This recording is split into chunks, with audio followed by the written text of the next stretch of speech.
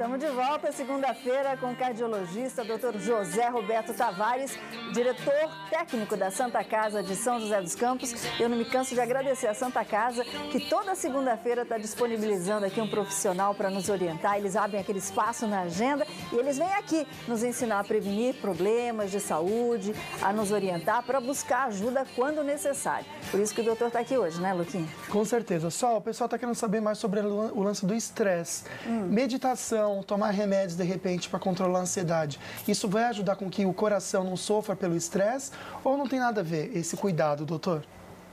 Tem a ver sim. É, todas as medidas que você toma em relação ao estresse, aí encaixa-se também o exercício físico, porque o exercício físico ele é um grande é, é, liberador de uma substância que chama endorfina e isso melhora muito em relação ao estresse. Até para o indivíduo hipertenso, o exercício faz bem porque reduz a pressão arterial. Então acaba então, com aquela coisa, ah, eu não vou malhar porque eu não quero ter corpinho sarado. Não é corpinho sarado, não, não é coração é saúde, saudável. É saudável. Né? Temos uma pessoa na linha, alô, boa tarde. Boa tarde, Sol. Tudo bom? Oi, Luquinha. Oi, tudo bem? Tudo Oi. bem. Ô, Luquinha. Oi. Ontem eu vi meu marido dando risada, mas sabe o que que era? Não. É que ele viu seu comercial que você coloca aquela cabeça de urso lá e sai dançando no meio da rua.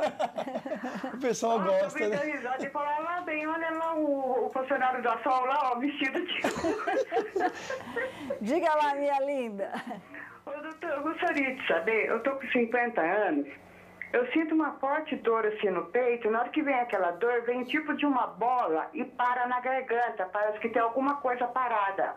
Sabe, você engole e fica parada, fica essa bola. Entendi. E, então, e dá essa dor assim no peito, tipo que aperta assim, ó, por dentro, ele vai respirar, dói. Isso aí pode ser problema do coração? Antes do doutor falar, eu vou puxar a sua orelha. Procurar médico que é bom nada, né? Não, eu procuro. Ah. Eu passo uma vez por ano no, no médico. Graças Entendi. a Deus não tem colesterol.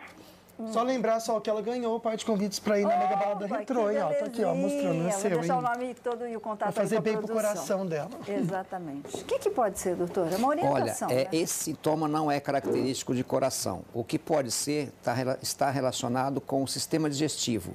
Então, você pode hum. ter uma hérnia de ato, que geralmente dá essa sensação dessa bola que está subindo e até gerar um refluxo. E mais ainda, você pode ter um espasmo, que é uma contração do esôfago, essa contração dá uma dor muito parecida com o infarto e entra no diagnóstico diferencial de infarto miocárdio. Então, precisaria investigar também o sistema digestivo. Então, dá uma investigada, viu, minha linda, aí em como é que está o aparelho digestivo, que pode ser um probleminha sobre isso. Daqui a pouquinho a gente vai mais, mostrar mais fotos aqui que o doutor trouxe, né? E, a, gente, o índice de pessoas que... Está morrendo muita gente do coração, Luquinha. Meu Deus do céu, é. gente. Vamos cuidar do coração, né? Como também a gente tem que cuidar do nosso sorriso. Aliás, hoje no nosso quadro, Doutor Sorriso, a gente vai ver como o tratamento estético pode mudar o sorriso de muita gente. Doutor Sorriso.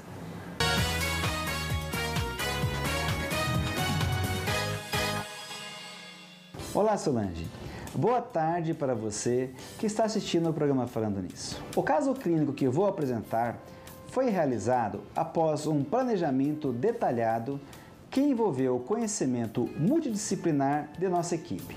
Qual era a queixa da paciente? A paciente relatava insatisfação com a estética de seus dentes.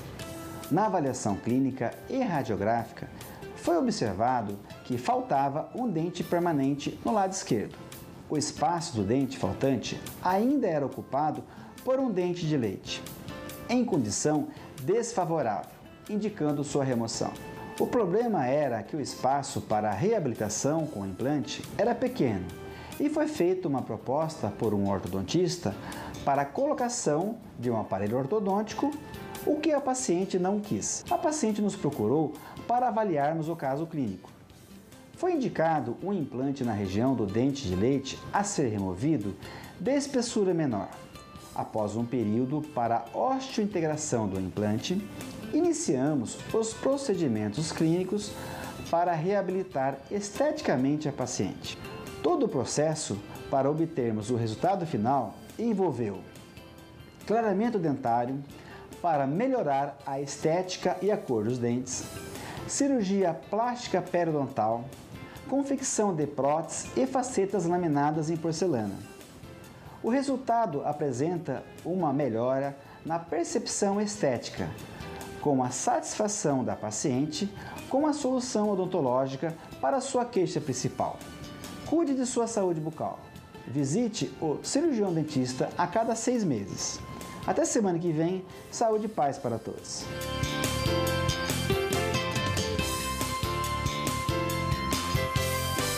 E o doutor José, o doutor José tá, que está aqui com a gente, cardiologista, ele estava falando sobre os problemas né, da, da, inflamação, da infecção na gengiva que pode dar endocardite, que é um probleminha de coração. E por falar em coração, a gente vai mostrar mais fotinhos aqui.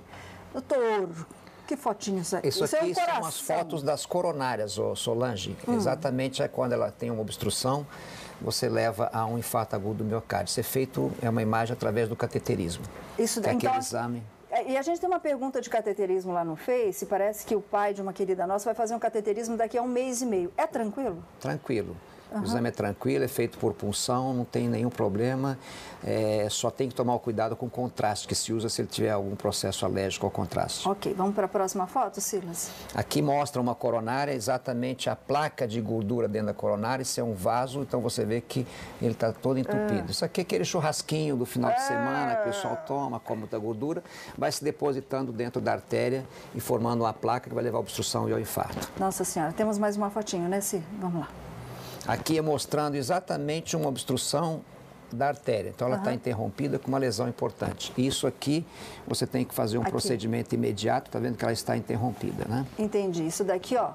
É uma placa é uma que placa tem aí, de gordurinha, de gordurinha que está uhum. obstruindo a artéria. Ok, então. Temos mais uma indicação aqui. Vamos lá? Mostrar mais. Acabou? Essas são as últimas fotos, então? Então presta atenção, gente. Problema de coração é a nossa vida que está aí em jogo, né? Daqui a pouquinho a gente volta para falar mais ainda sobre o coração, né, Luquinha? Então, Solange, você que está com seu pai que vai fazer cateterismo, fique tranquila, viu? Meu pai fez também, é super é tranquilo. Só pede para Deus dar paz no seu coração, que eu acho que quem precisa mais cuidar é você, por causa do nervoso. Né? A gente vai para o intervalo, mas olha só, o ex, nossa, que pena, né, Solange? É, o ex-publista aí o José Dilson Rodrigues dos Santos, mais conhecido como Maguila, ele está internado desde sexta na Santa Casa de Misericórdia de São Paulo.